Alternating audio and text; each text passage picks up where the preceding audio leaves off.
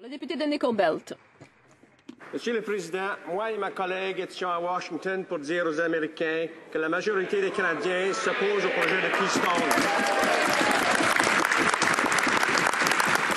Notre, notre parti fait le travail que les conservateurs refusent de faire. Mr. President, instead of hurling in Monsieur le Président, plutôt que de crier des insultes, peut-être qu'il devrait défendre les Canadiens. Les conséquences environnementales de Keystone, Order. Order. Silence. Le député a encore quatre ou cinq secondes pour terminer sa question. c'est aussi ce que les Canadiens ont demandé. Est-ce que le gouvernement va enfin comprendre qu'il doit présenter un plan qui protège nos emplois et notre environnement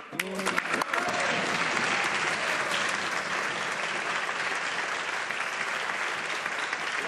des Ressources naturelles. Mr. Speaker, Monsieur le Président, le NPD préfère aller à Washington plutôt que d'écouter des milliers de Canadiens qui travaillent euh, dans le secteur des sables pétrolifères. Mais peut-être qu'ils écouteront les leaders syndicaux. Donc, Christopher Smiley, qui représente 250 000 travailleurs, il a dit que le NPD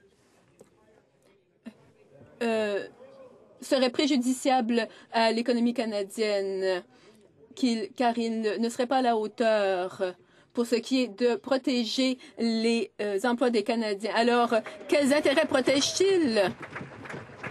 The honorable member for Halifax. Le député d'Halifax. Monsieur le Président, jusqu'au CC de la Chambre, quand nous discutons avec nos partenaires commerciaux, c'est un dialogue et non pas un monologue.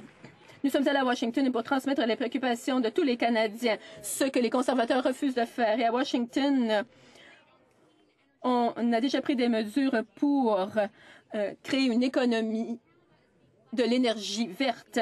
Et en raison de l'inaction conservatrice, le Canada accuse du retard. Ce sont des emplois canadiens dont il est question. Quand le gouvernement cessera-t-il ses attaques? Cessera-t-il euh, de rester inactif et prendra-t-il des mesures?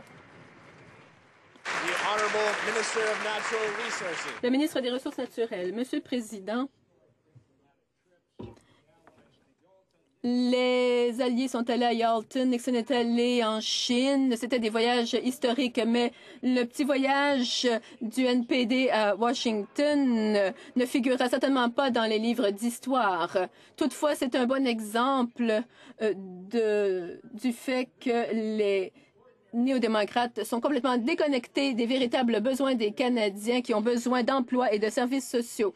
L'opposition officielle, Monsieur le Président, est manifestement inapte à gouverner. La députée d'Halifax. Monsieur le Président, défendre des emplois canadiens, défendre l'environnement, ça, c'est être déconnecté de la réalité? Je ne crois pas. Vous savez, la plupart des Canadiens ne veulent pas brader l'avenir de notre environnement en échange d'un oléoduc risqué ni des milliers d'emplois euh, au Canada. Le premier ministre a dit que le projet Keystone serait simple, mais en fait, il ne verra pas le jour. Il envisage maintenant de faire passer l'oléoduc par les euh, euh, rocheuses, mais les Américains, eux, ont refusé de faire passer le, le pipeline dans des régions écologiquement sensibles. Quand le premier ministre, premier ministre écoutera-t-il enfin les Canadiens?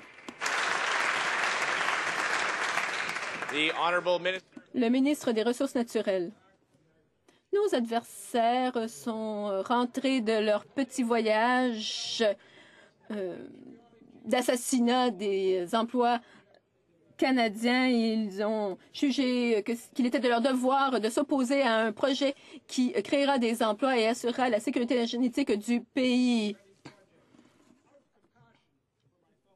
Par compassion pour mes amis parlementaires, je recommande au NPD de lire euh, le livre euh, L'économie pour les nuls.